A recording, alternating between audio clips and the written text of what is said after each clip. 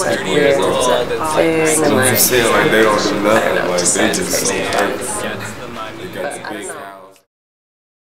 I got into modeling because I was boxing at an underground fight event. Friday Night Throwdown is like everyone raging out around the ring, screaming blood, f***ing Mobb Deep playing, Mike Jones, ASAP Ferg, and people getting knocked out. I was walking around the ring one time, looked over to my left, Alexander Skarsgård, Calvin Klein standing next to each other, drinking PBRs and shit.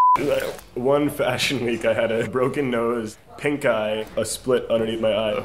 Yeah, that kind of gets up sometimes.